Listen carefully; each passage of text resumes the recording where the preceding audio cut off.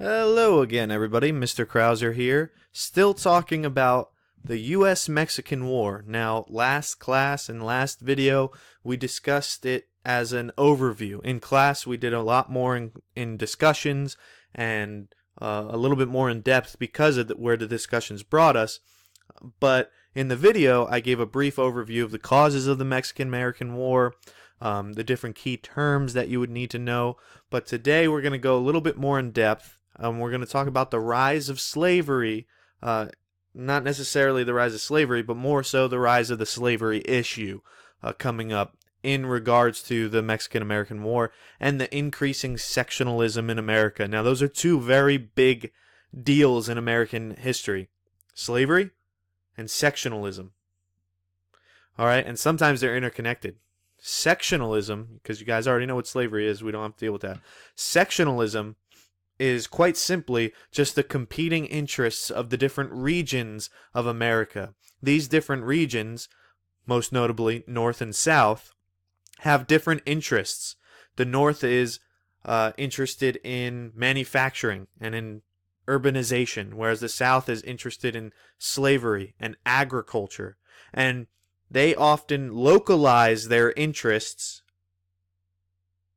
and make that the prime importance of the country. They don't really see the big picture, in other words. So sectionalism is really just the breaking up of uh, a nation like America into different sections. And so all these sections then end up competing against one another and they don't look at the bigger picture. They don't look at the unifying picture. They don't try to compromise for the most part. And this is ultimately what's going to spur us towards the Civil War. And that's one of the reasons why the United States Mexican War could be considered a turning point in American history, uh, thrusting us forward to the Civil War because of all the sectionalism happening at this time. Because not everybody was on board with going to war, and not everybody was on board with necessarily adding these new places like California and Texas and the southwest region that we took from Mexico because they didn't know how to divvy it up between free states and slave states. The North didn't really want them entered in as slave states, and the slave states didn't really want them entered in as free states because it changes the power of the government. It changes who's going to end up electing a president. It changes the whole dynamic of the country. So let's get into it. We're not going to deal with the 12 years of slave scene, but uh, it is a very graphic movie, but it is a uh, pretty good movie um, in terms of slavery, but it is quite graphic, so I can't really recommend it to you guys. Do now, you can go back on your own term. Now, a recap in some key terms.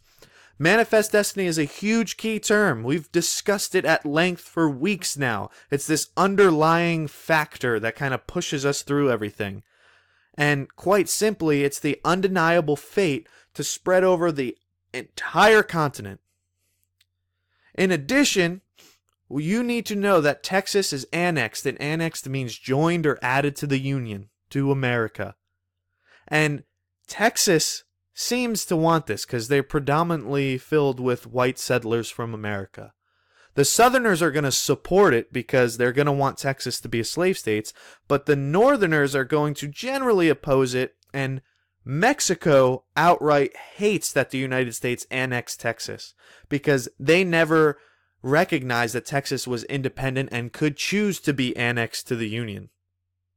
So they're going to see this as theft on the part of America, America stealing land that is rightfully theirs. In addition, we talked about in the last video and last class that there is a dispute over the boundary of Mexico. The United States is going to claim the boundary is the Rio Grande River, whereas Mexico is going to claim it's the Nueces River. So the Nueces River is up further towards the north, the northern end of Texas. So that would give Mexico more of Texas and more of the land whereas the Rio Grande is further down south. So that would give America more of the land. And remember, we discussed that it's really this boundary issue that starts the war because President Polk is going to send troops down into the disputed area between the Nueces and Rio Grande. And Mexico is going to say, get out and leave. And the troops aren't going to do that, the American troops. So then Antonio Lopez de Santa Anna, the president of Mexico at this time, is going to then order his troops to go and fight the American troops. And they do, and they kill some of them.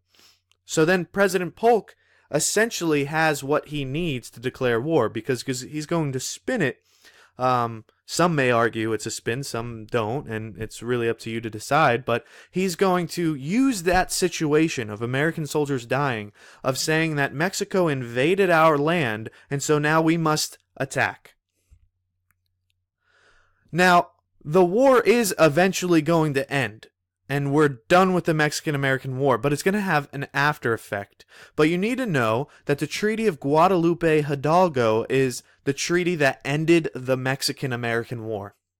And as part of this treaty, Mexico is going to give up claim to Texas and sets the Rio Grande River as the southern border. So essentially, they say, America, you get your way. You'll get Texas, and the Rio Grande River is now the southern border between Texas and Mexico. In addition, Mexico's actually going to give New Mexico and California to the United States. And in return, I don't know if the United States was just trying to play nice by giving them some money, or they felt bad, or whatever, or they wanted to insult them more. The United States is going to give Mexico $15 million, even though they won the war. Now, last time we discussed how President Polk sends a guy named Slidell to California to negotiate purchasing California and also paying for really Texas, even though we weren't offering much. We are going to offer about $5 million for Texas and approximately $30 million for California. So notice that this is a very different figure. And some people would say that it's still generous because we won the war. Why are we paying them? Other people are saying, well, that's just adding insult to injury of just giving money, like pity money, to Mexico after taking a bunch of their lands. So that's important to note. But then, just a few years after this, Mexico is going to sell even more land, although comparatively much smaller, during the Gadsden Purchase of 1853. And this is where Mexico is going to sell about 30,000 square miles to the United States for $10 million.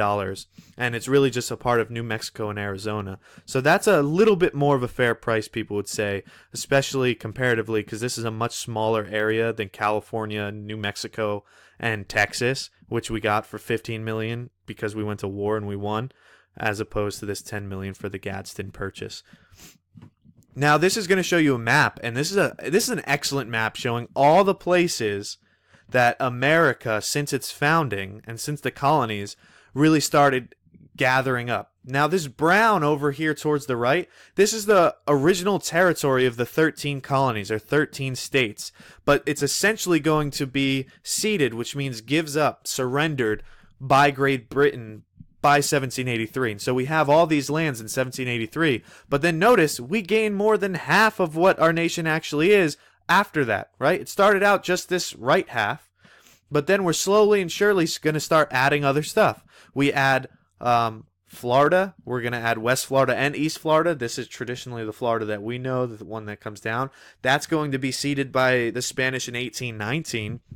Um, we're going to add Texas, obviously. Uh, this is what we're talking about the Texas annexation around 1845.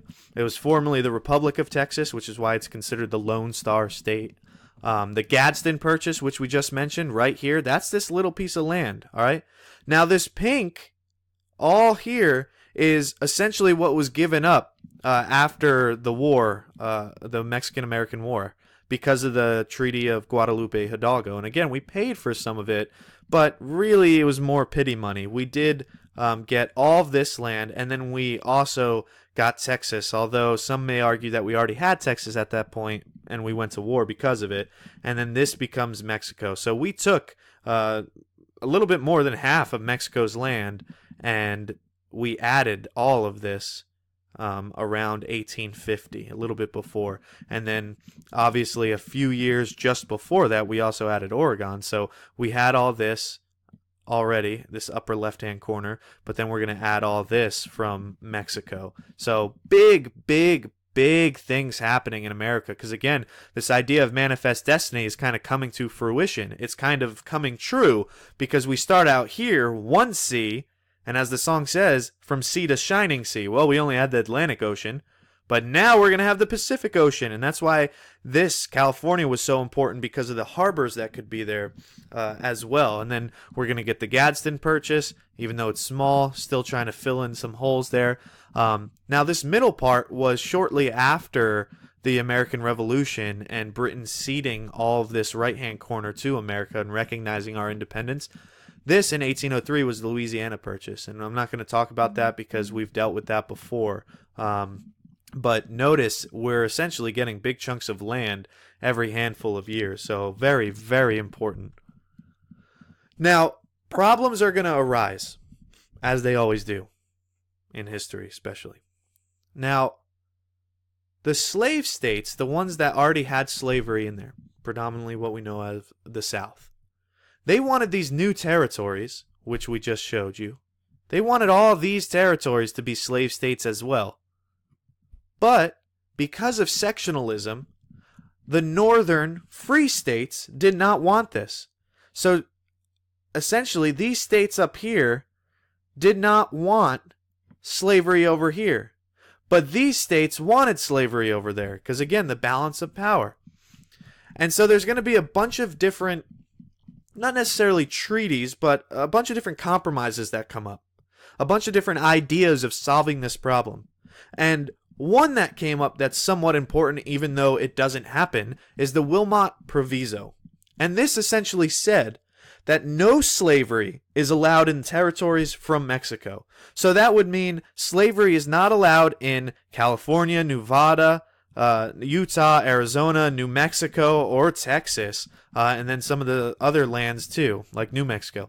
Um, that's what it said. But this is never going to become a law, but it does spark a lot of controversy because this sectionalism is actually going to be boiling over now. It's going to become a big issue because people are going to start bringing it up, saying that's an unfair plan, and then they're going to start throwing out their own plans left and right. So that's really what sparks it. So even though the Wilmot Proviso does not come to pass, it does not become a law, it does spark the conversation which is important.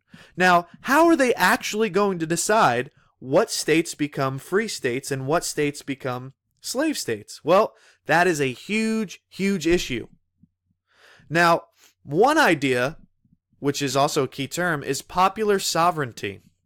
Now, essentially, that idea says a territory should be able to decide for themselves what they want the people who are going to be living there should decide by vote. And Stephen A. Douglas is the guy who really espouses uh, this idea, who puts it on the table. Popular sovereignty. Let the people decide who are living there. Now, another plan, which was from John C. Calhoun was to extend the Missouri Compr- Compromise line to the Pacific, which would essentially do the same thing that the Missouri Compromise did initially and separate the South and the North, the free states and the slave states. So uh, really, that idea is not going to come to pass too much. It's going to be a mishmash of all of these. But again, this all started because the Wilmot Proviso that gets rejected, and then people are like, "Well, let's just have people vote," and then, well, well, let's not have people vote because that could get messy. Let's instead extend the Missouri Compromise. Now, during this time, you're going to have an election, the election of 1848, and essentially everyone's going to try to ignore the slavery question. The Democrats are going to elect a guy named Lewis Cass, which you guys don't know who he is, and that should kind of give you a hint that we're not going to talk much about him because he doesn't become president. And the Whigs party is going to nominate Zachary Taylor, but a new party is going to emerge during this time. The Free Soil Party. Big important party. Key term. And this is the anti-slavery party. Uh, and it forms in 1848 and they focus on the dangers of extending slavery, not the immorality of slavery. They just don't want the balance of power shifted. They're not arguing that slavery is immoral and thus should be abolished. They're saying the new states should not be entered in as slave states. They're fine with slavery where it is, they just don't want it extended. And they're going to nominate Martin Van Buren. And this all is going to lead to the Compromise of 1850. And Zachary Taylor is going to win the election. But in 1850, he has to figure out the slavery mess, and he's going to start doing that. All right. Now, this is what this Compromise of 1850 does ultimately, and it breaks it down. You guys can take a look at this. I'm not going to go over everything, but ultimately, California is going to be admitted as a free state. There's going to be popular sovereignty in U- Utah and New Mexico. The Texas borders dispute is going to be solved, um, and the slave trade is going to be abolished in the District of Columbia.